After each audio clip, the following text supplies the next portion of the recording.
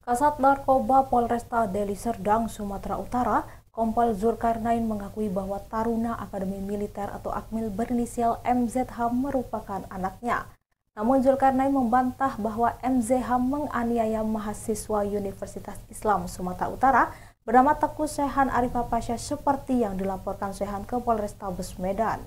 Zulkarnain menambahkan, yang memukul Sehan adalah Z, adik dari MZH.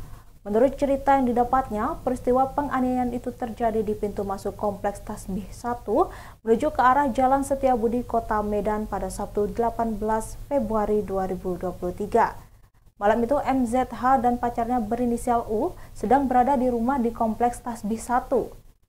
Jam setengah 11 waktu Indonesia Barat malam, MZH mengantar pacarnya pulang ke rumahnya dan pacar MZH berinisial U bercerita bahwa U sering diganggu dan dicat oleh Sehan, ucap Zulkarnain kepada tribunmedan.com Selasa 14 Maret 2023.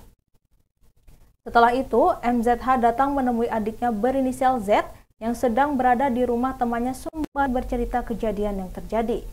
Kemudian MZH, adiknya serta teman-temannya yang lain memutuskan untuk jalan-jalan. Saat hendak meninggalkan kompleks Tasbih 1, Z melihat mobil korban dan menghentikannya. Ketika itu, korban sedang bersama dengan pacarnya berinisial M dan juga kakak beserta adik pacarnya di dalam mobil. Setelah pintu mobil terbuka, Z langsung memukuli korban sebanyak dua kali di bagian wajah.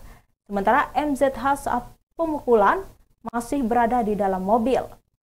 MZH turun setelah melihat Z memukuli korban MZH kemudian menarik Z dan meminta agar tidak membuat masalah. Setelah kejadian itu, korban mendatangi Polsek Sunggal untuk membuat laporan dikarenakan malam itu Polsek Sunggal sedang ramai, korban mendatangi Polrestabes Medan dan melaporkan kejadian penyiksaan itu.